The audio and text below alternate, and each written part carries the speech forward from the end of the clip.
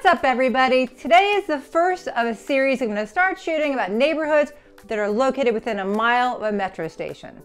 I use a mile as a measurement because 9 out of the 12 months out of a year here in Maryland, it's going to be very workable to get there without a car. The other three months, it's going to be an incredibly short ride.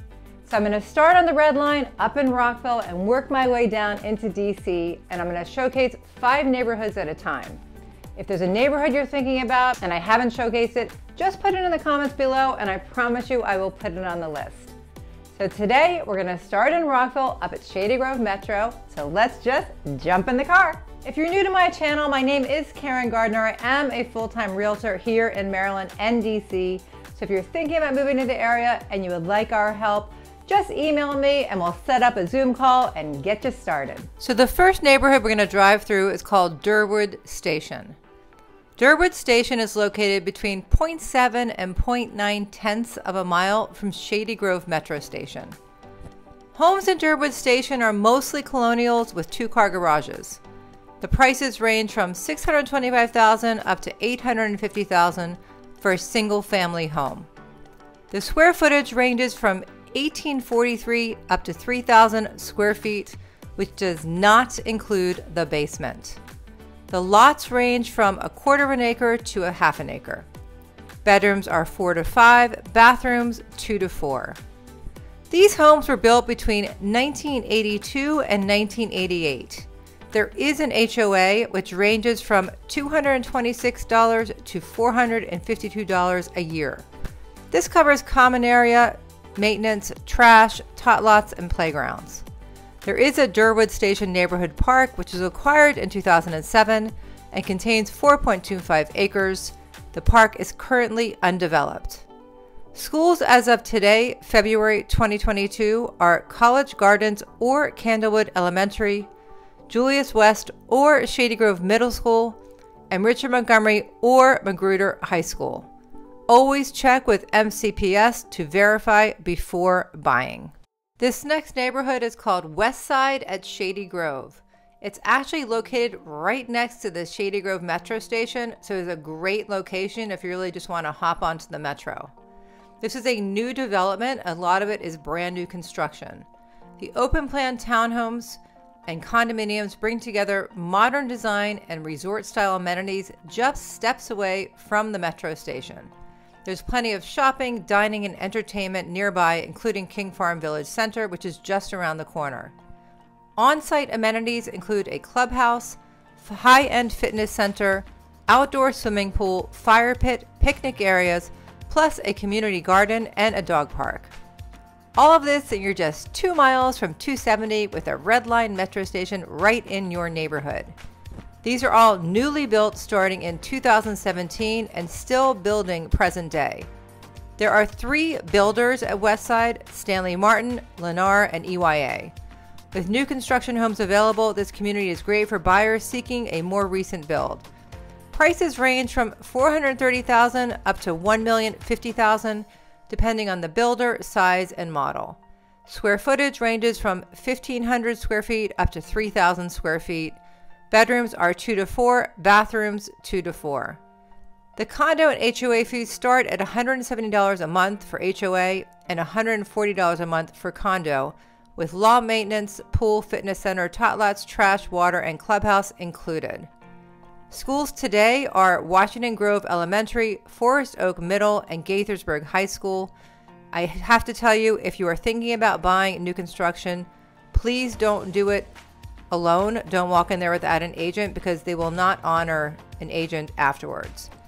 Always check with MCP MCPS to verify these schools before buying. King Farm is our next neighborhood. It is located between a half a mile and nine tenths of a mile from Shady Grove Metro Station. The community runs shuttle buses continually to and from the station for free. King Farm in Rockville, Maryland is a unique mix of modern convenience and old world charm. Developed in the mid 2000s as a mixed use, walkable, and high density community, King Farm is an excellent example of smart growth or new urbanism. The neighborhoods of quaint traditional style single family homes, townhomes, and condos feature landscape parks, tree lined boulevards, and many in community recreation, retail, and dining options. King Farm is ideal for buyers looking for the charm of a well designed planned community combined with the convenience of a mixed use development. Single family homes in King Farm were built between 1998 and 2004. The prices range from 825,000 up to 1.1 million for a single family home. Square footage ranges from 2200 up to 3800 square feet, not including the basement. Bedrooms 4 to 6, bathrooms 3 to 5. King Farms neighborhoods offer parks, swimming pools, tennis courts, and many other recreational options. The HOA ranges from $113 to $120 a month. Schools today are College Gardens Elementary or Rosemont Elementary, Forest Oak or Julius West Middle School, and Gaithersburg or Richard Montgomery High School. Always check with MCPS to verify before buying. Croydon Park is located between one tenth and three tenths of a mile from Rockville Metro Station, so super, super close. Croydon Park is an urban neighborhood based on its population density, located in Rockville, Maryland. This is a well established community that continues to attract interest from buyers looking in the Rockville area. Located very close to Rockville Town Center, you have tons of shopping, restaurants, movie theater, and even a seasonal ice skating rink nearby. Croydon Park real estate is primarily made up of medium sized 3 to 4 bedroom to large 4 to 5 or more bedroom single family homes and townhomes. Homes in Croydon Park were built between 1938 and 1970, with a few homes built after the 70s into the 90s and early 2000s. The prices range from 400,000 up to 845,000. Lots range from 0.17 acres to a quarter of an acre.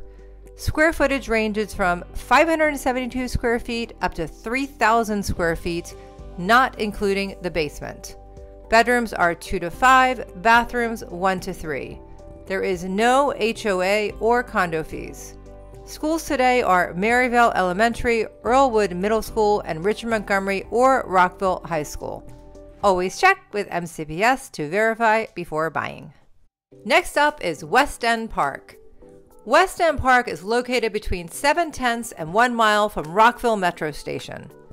The West End Park neighborhood is filled with colonials, bungalows, split levels, ramblers, Victorians, and other kinds of housing options that will fit the taste and lifestyle of just about everyone.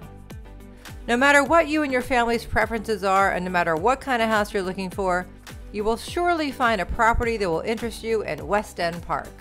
This neighborhood has its roots on the vision of a man named Henry N. Kopp, being the visionary that he was, Kopp acquired 500 acres of a developable land in Rockville a number of years back and developed a big chunk of his property onto the locale of West End Park. West End Park takes all the fine qualities of Rockville and combines them into a peaceful and refined suburban neighborhood. As a result, homeowners residing in the area are able to enjoy a truly peaceful and family friendly atmosphere Homes in West End Park were built between 1875 and 1963, with some newer construction in the 2000s up to present day. The prices range from 350,000 up to 1.15 million for new construction. Square footage ranges from 1,050 square feet up to 3,800 square feet, not including the basement. Lots range from 0.17 square feet up to half an acre. There is no HOA or condo fees. Schools today are Beall Elementary, Julius West Middle, and Richard Montgomery High School. I know what you know what I'm going to say. Always check with MCPS before buying. I hope you enjoyed touring these five neighborhoods with me today. If you have any questions about any of these neighborhoods, just feel free to contact me or put comments below. And if there is a neighborhood that I did not drive through that you want me to showcase, also put that in the comments below because I want to make sure I get you everything that you want. And if you're thinking about moving to Maryland or DC and you would like our help, you can call, email, text my team and I. We would love to help you make this transition as seamless as possible. And if you enjoy these videos, please consider subscribing and tell a friend and smash that like button. It helps us along. I really appreciate it. Thanks for watching. Bye.